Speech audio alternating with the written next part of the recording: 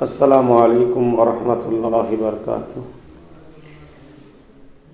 আলহামদুলিল্লাহ, নিশ্চয়ই আপনারা অবগত হয়েছেন। তারপরও আর একবার কিছু কথা আপনাদেরকে জানানোর উদ্দেশ্য করে আজকে আমি আপনাদের উদ্দেশ্য করে কিছু কথা বলছি। আগামী আটই ডিসেম্বর একুশে অগ্রাণ অর্থাৎ আজকে ছয় ডিসেম্বর। আর কয়েকদিন পর, কাল বাদ পরশু বৃহস্পতিবার আটই ডিসেম্বর, ফুরফুরা শরীফ আহলে সুন্নতল জামাতের প্রচেষ্টায়, সংগঠনের পরিচালনায়, সংগঠনের দ্বারা পবিত্র ফুরফুরা শরীফে মুজাদুজ্জামান সৈয়দুল আবু বাকা সিদ্দিক স্বাধীনতা সংগ্রামী পীর আবু বাকা সিদ্দিক রহমতুল্লাহ আলহের ফুরফুরা শরীফে যে একশো বিঘে জমির ওপরে পিরাবু বাক্কা সিদ্দিক নলেজ সিটি গড়ে উঠতে চলেছে। সেই নলেজ সিটিতে দু হাজার উনিশে আমি ডেকেছিলাম। বাংলার বিভিন্ন জেলা থেকে আমার মুজাদুজ্জামান দাদা হজুর রহমাতুল্লাহ আলাইহের সিলসিলার অনুসারী, অনুগামী, মুরির মুহেব্বিন, আমার ভালোবাসার বাপেরা, ভাইয়েরা এসেছিলেন। নিশ্চয়ই আপনাদেরকে বলেছিলাম যে আমি সর্বপ্রথম মায়েদের জন্য মাতৃ সদন করব। তা আলহামদুলিল্লাহ সেই মাতৃ সদন আমি করার চেষ্টায় কাজ শুরু করেছিলাম। কিন্তু আল্লাহর মর্জি লকডাউন হয়ে যাওয়ার জন্য করোনা মহামারীতে যে মানুষ বিপদগ্রস্ত হয়েছিল, মুসিবতের মধ্যে পড়েছিল, এই লকডাউনেতে প্রায় দু বছর, আড়াই বছর কেটে যায়। তাই বিভিন্ন কাগজ পারমিশন বিভিন্ন দিকে বিল্ডিং পারমিশন কনভার্সন মিউটেশন কাগজের সব অফিস আদালত বন্ধ থাকে সেগুলো পরবর্তীতে খোলার পর কাগজপত্র রেডি করে। গত রমজান মাসের ঈদের পর আমরা ওই বিল্ডিংয়ের, মাতৃসদনের বিল্ডিংয়ের কাজ শুরু করি। আলহামদুলিল্লাহ, দেখতে দেখতে আজ সাত আট মাসের মধ্যে আমাদের এই বিল্ডিংয়ের কাজ কমপ্লিট হয়ে গেছে। তাই আমরা আগামী একুশে অগ্রহায়ণ আটই ডিসেম্বর, অর্থাৎ কাল বাদ পরশু দিন আজকে ছয় ডিসেম্বর। শুভ উদ্বোধন করতে চলেছি। আপনাদের সকলকে আর একবার দাওয়াত দিচ্ছি। ইনশাল্লাহ আমার আব্বারা, আমার ভাইরা আসবেন, এটা আশা রাখি। তা কিছু কথা আপনাদেরকে জানাচ্ছি।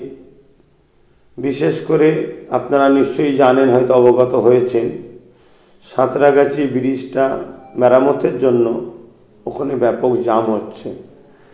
তাই যারা দক্ষিণ চব্বিশ পরগনা, কাকদ্বীপ ডায়মন হাওড়া, বারাইপুর এসব সাইড থেকে যেনারা আসবেন, ঠাকুরপুকুর, বেহালা, তারাতলা, বিশেষ করে এই সাইডটা কুলপি আছে, ঢোলা আছে, এসব এলাকায় যে দাদা হজুর রহমাতুল্লাহ আলাইহের লাখো কোটি ভক্ত মুরিদ আছে, তাদের মধ্যে থেকে যারা আমাকে ভাই বলে, ছেলে বলে ভালোবাসেন, যারা আসবেন, ইচ্ছা করেছে তা আপনার ওই সাঁতরাগাছির ব্রিজটার কাজ হচ্ছে এই দিকে খেয়াল করে জাম হচ্ছে। তা আপনারা একটু খোঁজ খবর নিয়ে কীভাবে আসা যায় এবং একটু আগে আগে আসার চেষ্টা করবেন। পাশাপাশি টোটাল বাংলার যে কোনো জায়গা থেকে আসবেন, আপনারা নিশ্চয়ই সবই রাস্তা চেনেন। এরপরও আমি একটু ধরিয়ে দিচ্ছি। যেমন বাসন্তী হাইওয়েতে যারা আসবেন তেনারা তো এয়ারপোর্ট হয়ে আসবেন বা হাড়ুয়া হয়ে যেনারা আসবেন, আপনারাও লাউহাটি এদিক দিয়ে সবই চেনেন, এয়ারপোর্ট হয়ে আসবেন। উত্তর চব্বিশ পরগনা হয়ে যেনারাও আসবেন, এয়ারপোর্ট হয়ে আসবেন। তবে উত্তর চব্বিশ পরগনা, অশোকনগর, হাবড়া, আমডাঙ্গা, এসব এলাকার মানুষগুলো আপনারা যদি বাঁশবেড়িয়া হয়ে আসেন বা নদীয়ার যেনারা আসবেন বাঁশবেড়িয়া হয়ে, তাহলে আরও সুবিধা হবে। এছাড়া বর্ধমান থেকে যেনারা আসবেন, আপনারা ডাইরেক্ট দুর্গাপুর হায়ের ওপর দিয়ে আসবেন। বাকি উত্তরবঙ্গের মানুষরা, আপনারা তো সবই জানেন, আপনাদের ঘরে হাইওয়ে উপর দিয়ে আসতে হবে। এছাড়া যারা ট্রেন পথে আসবেন, আগের দিন চলে আসবেন, রাত্রিরে সব বলাই আছে। আপনারা সেইভাবেই চলে আসবেন। তবে যারাই আসবেন, বাঁকুড়া থেকে, পুরুলিয়া থেকে, পশ্চিম মেদিনীপুর থেকে, আপনারা হয় গজার মোড় থেকে জাঙ্গিপাড়া হয়ে আসবেন বা সিপাহীগাছি বলে একটা জায়গা আছে, সেখান থেকে হয়ে আসবেন। এদিকেও চেষ্টা করবেন। তারপরে আপনারা যারা বাকি পূর্ব মেদিনীপুর, হাওড়া জেলা আছেন, আপনারা তো আপনারা এদিক দিয়ে আসবেন, জগৎবল্লভপুর, মুন্সিরহাট, ডোমজুর এদিক দিয়ে চলে আসবেন। তা আমার আজকে আরও কিছু কথা, সেটা হলো এটাই যে আপনারা যখনই আসবেন, অবশ্যই মনে করে ওই দিনের জন্য, ওই দিনের জন্য বিশেষ করে নামাজের মুসল্লা, পানির বোতল আর দুপুরের খাবার টিফিনটা নিয়ে আসবেন খাবারটা। আর ট্রাফিক যে রুলস, যেমন বিগত দিনে আপনারা এসেছেন, এগুলো বলতে লাগে না কেন আপনারা যথেষ্ট দায়িত্বশীল ব্যক্তি। আহলে সন্ন্যতল জামাত আপনাদের ঘরে বারবারই ট্রেনিং প্রশিক্ষণ দিয়েছে দেশের সংবিধান, দেশের আইন ব্যবস্থাকে কীভাবে সম্মান, শ্রদ্ধা জানাতে হয়। এরপরেও কিছু বাধ্যবাধকতার জন্য আপনাদের স্মরণ করাতে হয়।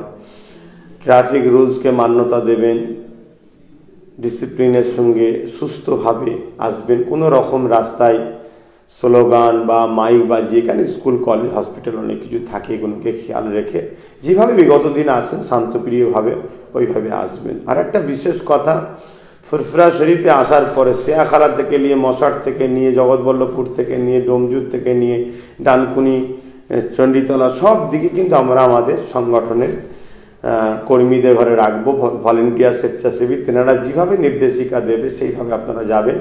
বিশেষ করে ফুরফুরা শরীফে যখন আসবে, তেনাদের ব্যাচ থাকবে, দেখবেন ভলেন্টিয়ারের ব্যাচ। যেখানে গাড়ি পার্কিংয়ের কথা বলবে, সেখানে পার্কিং করবেন, তেনাদের কথাকে মান্যতা দেবেন। কেন? আমি বলছি তেনাদেরকে, তাই তেনারা সেইভাবে করবে। আর একটা অত্যন্ত জরুরি কথা, দেখুন, মানুষ বিভিন্ন জায়গায় দেখা যায় তাদের জমি, চাষযোগ্য জমির রাস্তার ধারে আমার নলেজ সিটি যাবার আগে অনেক জায়গায় পড়ে। তো এই অনেক জায়গায় দেখা যাচ্ছে কিছু কিছু জমি হয়তো অনেকে চাষ করে রেখেছে।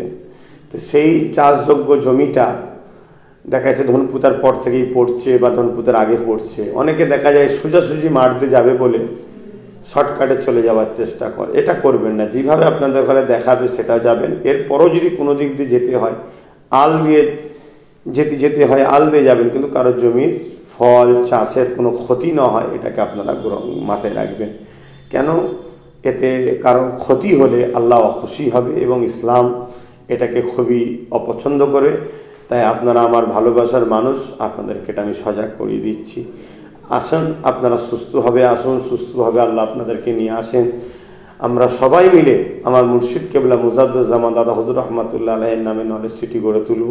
এটাই আমাদের জীবনের মকসাদ ওই দিন কে থাকছে, কে আসছে, ওসব কোনো কথা নয়। আমাদের টার্গেট একটাই থাকবে, আমরা দাদা হজুরের নলেজ সিটি করতে যাচ্ছি। একটা বিল্ডিংয়ের শুভ উদ্বোধন হবে এবং ওই দিন দুটো প্রকল্পের ভিত্তি স্থাপন হবে। সেই কাজে আমরা যাব, শরিক হব এবং আমরা নিজেরা দাদা পীরের নামে নলেজ সিটি করব। এই উদ্দেশ্যটা হচ্ছে আমাদের মূল উদ্দেশ্য। এটাই আমাদের চাওয়া, আশা।